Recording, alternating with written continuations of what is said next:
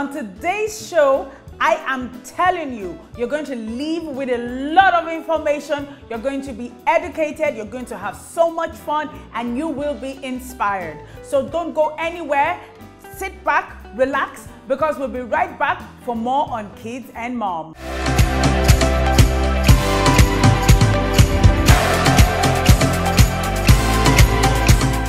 Drop your comments and questions on our Facebook page. You can follow us on Twitter and on Instagram.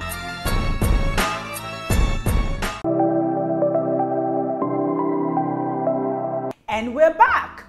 On the show today, we will be learning about tech coding for children. Some moms would ask, exactly what is Yeli talking about? Well, it's time for you to learn something new.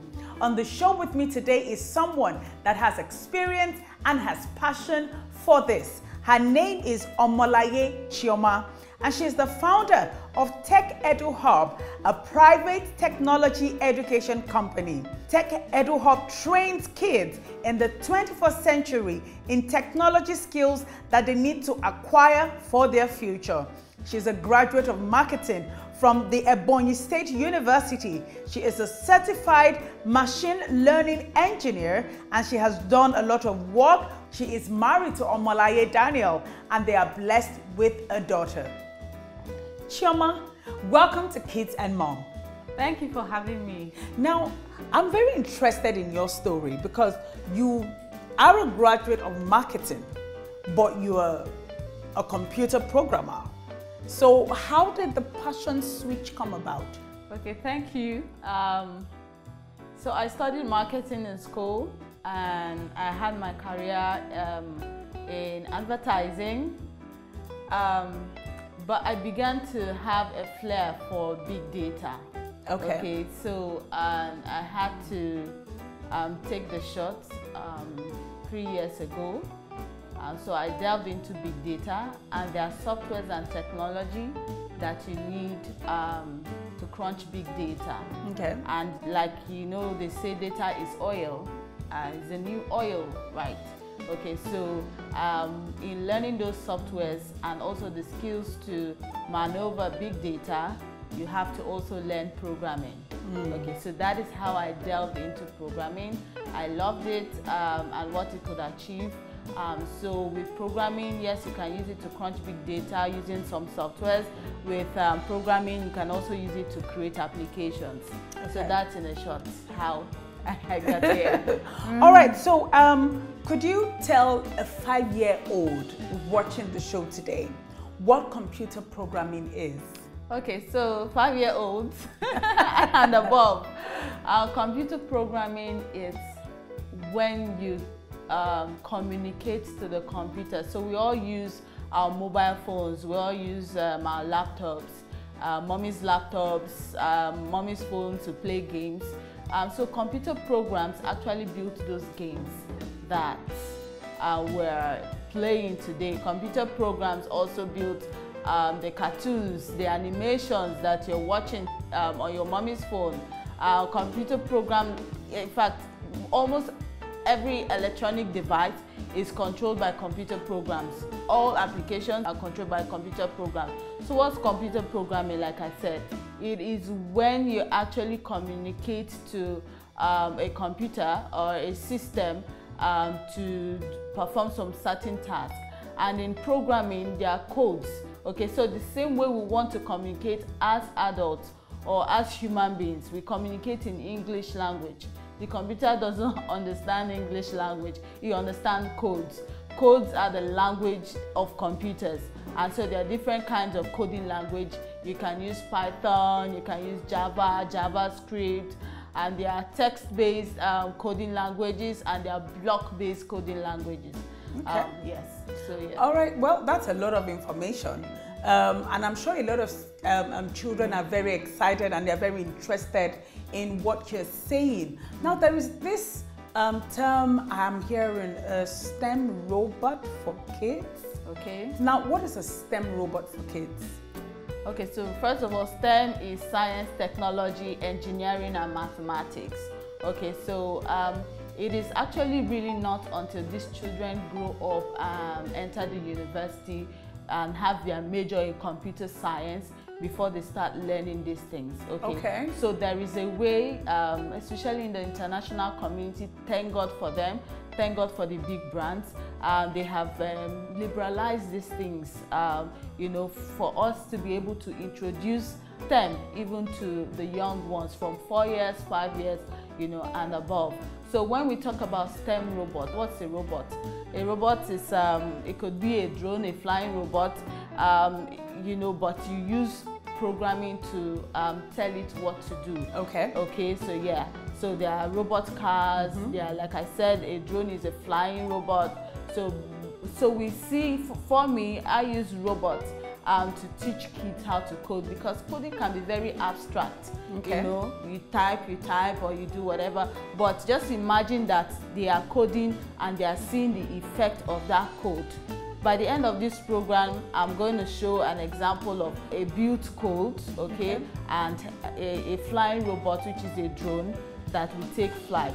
So that is the way um, I introduce kids, um, you know, to coding. When we code, they see it take effect. Okay. Then they begin to understand the world around them. All right. Then they begin, yeah, that's basically it. All right, so um, you've spoken, you know, a lot about the coding language and the fact that coding is the language at which you communicate to the Yes. computer what you want it to do. So how would you introduce children to coding and programming? Okay, great. Um, so I mentioned before there's um, block-based, the visual-based kind of coding, and we're going to see it shortly. And there's the text-based kind of coding. Okay, the one we type. Okay, when we say print in bracket, we'll put our inverted comma and all of that. So there are the Python, the JavaScript, but the block-based kind of coding uh, is what we use to introduce kids to coding. So it's a drag and drop. It's a drag and drop. But understanding how to build the drag and drops, the different drag and drops, which we'll be seeing shortly, you know, it's um, the concept also applies to the real, the text-based kind of coding. Okay. So yes, we use um, block-based um, kind of coding. We use Scratch, uh, we use Snap, we use Blockly. Um, we go to we, we search for curriculums online, the free ones on code.org. Um, there is IBM um, Digital Academy. There's Microsoft Education. So we um, we use all of those curriculum and block-based kind of coding to launch kids into coding. Then afterwards, we then introduce them into the text-based kind of coding. And in learning the text-based kind of coding, they learn it in a fun-loving way. So um, they engage with games, computer games. They are not playing it this time. They are actually creating the games by themselves. And when they even play those games, they use coding the real text-based kind of coding to create and play those games. So Okay. in that way, yes. Um, All right. kids are Um, Chioma, do you think there are apps that can teach children to code or program? Yes, there are apps and they sit on Google Play Store.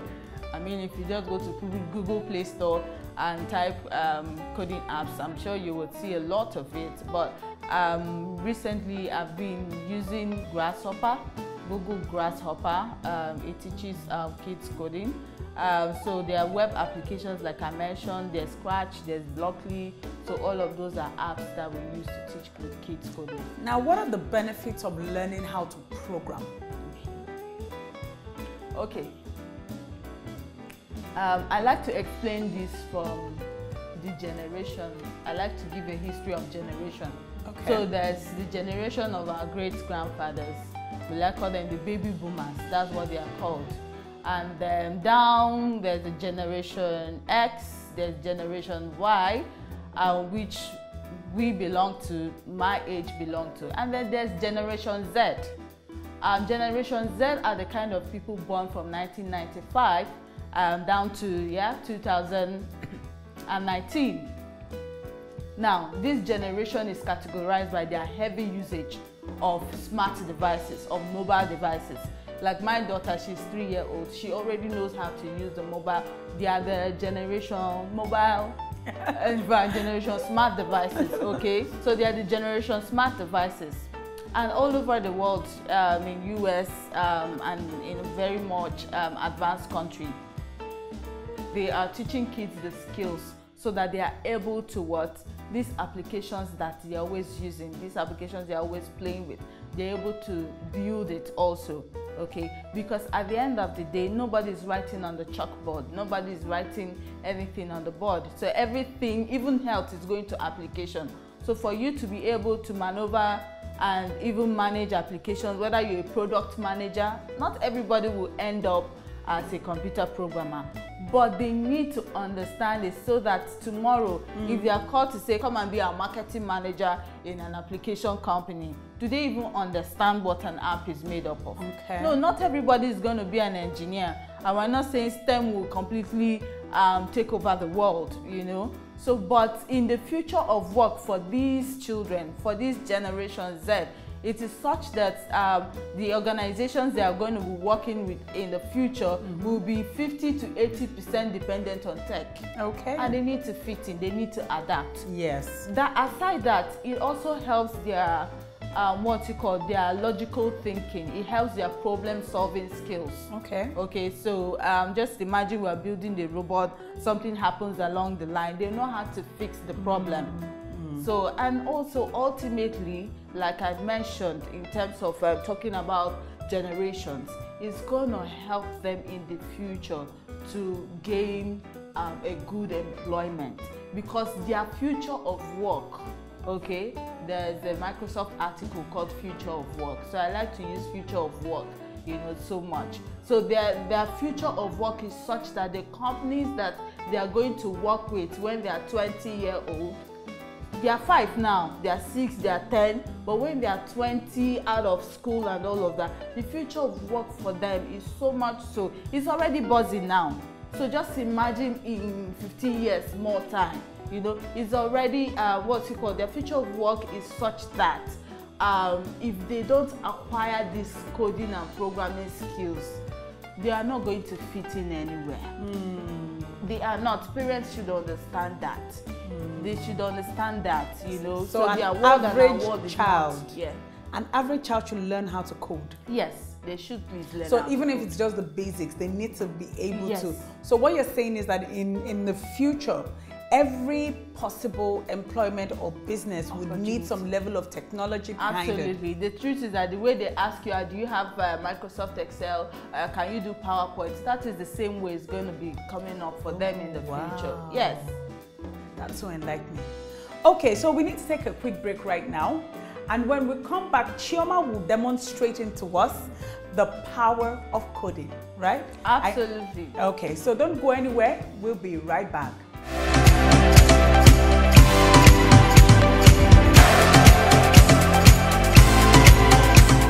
Drop your comments and questions on our Facebook page. You can follow us on Twitter and on Instagram.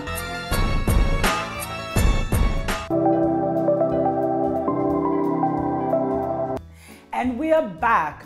Now, Chioma is here to demonstrate to us how um, children could use coding to achieve anything. Do you understand? And she's just going to demonstrate to us the power and you know the effect that programming would have. Chioma, over to you. Thank you very much. So like I mentioned, uh, we like to introduce kids first with the block-based kind of coding. And like I said also that um, I like to use robotics as we teach them coding. So this is an example of block-based um, kind of coding. Um, so we're going to make this mini, um, this drone um, is a flying robot. We're going to make it take off. Okay, so the, the big adult drones, we use um, remote controls and there are some older um, playful drones that we use remote control to, but that doesn't teach coding, right? It doesn't teach programming. So with this, without our remote control, we're going to see this drone take flight and land safely.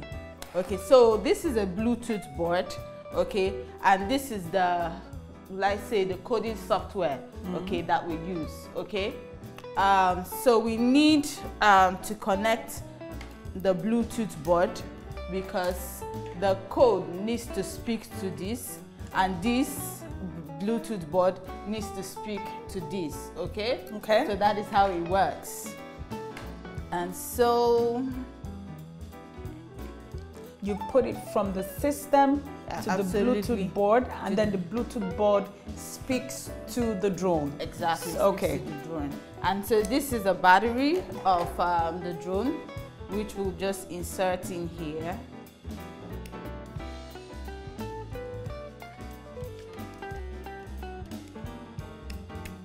Awesome. Okay. You can see it blinking. All of these lights are sensors. Okay. So, okay, let's see. Um, as um, please hold on. So the first thing um, with block-based kind of coding, we have this um, block called when clicked. So whatever program we're, we're building underneath, when we're done building, when we want it to take action, we'll click when flag is clicked, when green flag is clicked, right? Okay. Okay, so then before then, uh, this is just to show you how it works. We need to connect our CoDrone, and so connect to the nearest drone, and we look for it come for.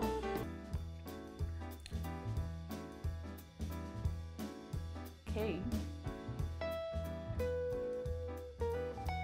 So as we have done the physical input, we just need to pair them Okay. using the software. Okay. I hope everyone is learning. I hope children you're mm. learning as you're watching Chioma demonstrate this to us.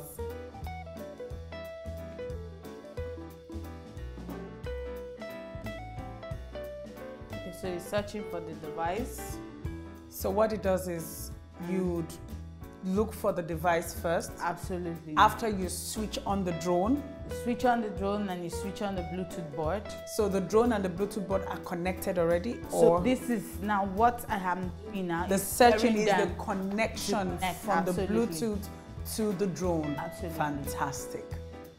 So yes, you can see it says it was connected to the following device. Okay. So it has seen it. Oh, perfect. So we say, okay. And then we begin to build our program now, right? So we'll just build a simple program to make it fly, stay for five seconds and land. Okay. And in doing that, we go to our CoDrone block. Um, we, we plug the flight event to it Okay. On that when clicked, which is the first block of any um, block-based kind of coding. There is always a when something is clicked, you know, um, execute it. So we will do our takeoff and then we would go to control and tell it to wait. So when it takes off, otherwise if we just do take off and land, it just, you know, so let's wait for five seconds and then before we go back to the flight event and we see it land safely. Okay. So this these are one, two, three, four, just four blocks will make this um, take flight and come down. Right. So now we're going to click when flag is clicked. Okay. And it takes off. It Takes off. Are you ready? seconds. See if you can count you're watching. So I'm going to click the when clicked and let's see the drone fly take off for five seconds and Okay. safely land. Oh my gosh. Ooh, he lands on my Nice. You wanna see it again? Yes.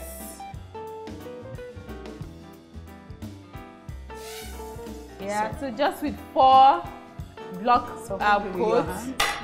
Uh, sorry, so an obstruction. Okay, Okay. So we'll just take it again and remove my laptop. All right, so that's that right. it lands on there.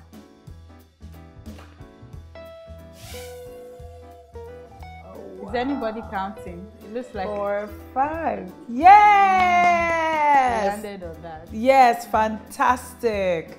That was awesome. So wow. parents should enroll their kids in their schools for schools that are taking coding classes. Okay. They should, you know, any opportunity during the summer they see coding lessons. Okay. Please, they should take those kids.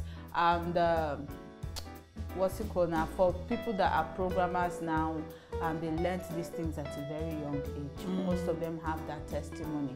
Someone that I know learnt it while he was in JSS3, and that has fetched him good paying job even before entering university. A very good paying job. He has not seen the walls of the university, but he resumes work on the island twice a week, and I know how much he's being paid. So Okay. please, um, it's a way also to also help the economy, uh, to help Nigeria, so that we attain that advancement, so that we'll stop being called um, a less advanced um, country. Okay. called uh, you know, advanced country, and technology is very key for any nation to advance. Okay. Well, Chioma, thank you so much for coming on the show. Thank you for the advice that you've given parents and children. We want to say thank you for showing us and demonstrating to us the cool things that kids can do with coding. Well, I hope everyone watching today, I've been blown away by what I've seen. And this is just so cool. And this is really, really important. Technology is very, very important in the development and the future of our children.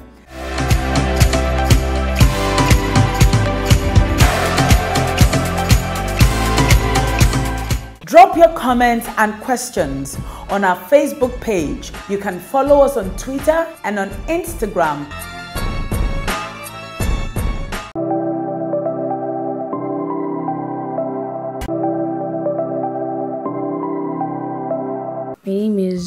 Jerry. Um, I'm in just three and I attend Brilliant Child College. I come from a family of four my junior sister and my parents. Um, I'm not a very quiet person. I like to make people around me happy. Um, I disturb people a lot. I love disturbing people and I love it when people around me just smile because it makes me feel very good and I also love defending people's rights. I would love to become a lawyer.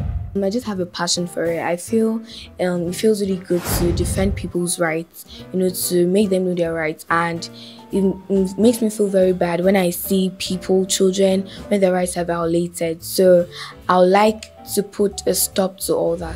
When I get to senior secondary class, I'll have to go to art class and do a lot of studying. Then when I get onto the university, I'll go into law. Then after that, I'll go to law school to learn more about it. Um, God Almighty, first of all, and my mom. She's my biggest role model, and Mrs. Kate Nwuli. She's she has played a very big role in my life, and I thank her for that. I love singing, I love dancing, and I love playing. Cause all of me loves all of you, loves your curves and all your edges all your perfect imperfections. Give your all to me, and I'll give my all to you. You're my end and my beginning, even when I lose I'm winning. Cause I give you all, all of me, and you give me all, all of you.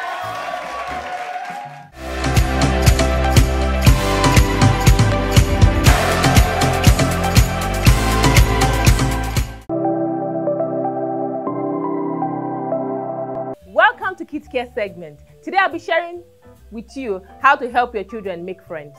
I have some points here that I believe will help in doing that and making it a reality for your child to be happy and for you to be happy as a parent in terms of the friends that your children keep. So number one, I thought about being friendly. How can you help your children to be friendly? What are the things you can say to them that could help them to become better friends and to make more friends? So they could smile more, they could give compliments, you know, they could be willing to share whatever it is, maybe their toys, you know, their, their I don't know, time with their friends. Number two, attending their friends' parties. So I believe sometimes they get invited to parties. I think we should make it a priority to see, do all you can do to help them to be able to attend the parties. And also they could choose the gift items for the friends' party as well. Number three, giving gift. Even if it's not a birthday party, you know, they could give gifts to their friends. It doesn't have to be a birthday to celebrate, you know. We could compliment each other, you know, and I believe giving gifts will help in doing that. And they could give compliments as well, you know. I like your uniform or it's ironed today or your hair is nice or the ribbon on the hair or the shoes, you know, they could compliment them. I think it's a good thing for us to do as parents to help our children to do. So another tip is setting up a play date. And what does that involve? It's basically asking your, your child, you know, who would they like to come visit this weekend? So the person could come over and you would agree with the parent, you know, the suitable date and a time and also for collection as well. And it's always a good idea to give a present when the person is leaving. It just makes the child happy and makes your child happy as well. And the last uh, but not the least point is visit their friends. So since the friends have come over to visit, I think it's a good idea for you to allow your child to go and visit their friends as well.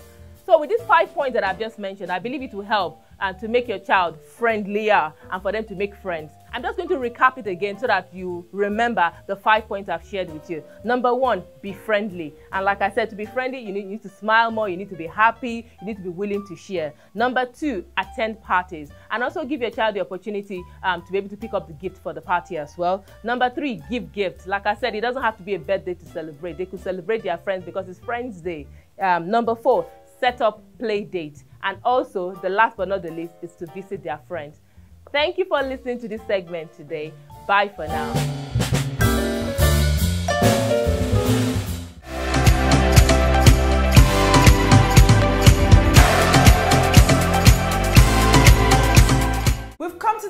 Show. Thank you so much for joining us today. I'm sure you learned something. I'm sure you left this, you're leaving the show today with something. So until we come your way again, same station, same time, from me and everyone else here, it's bye for now.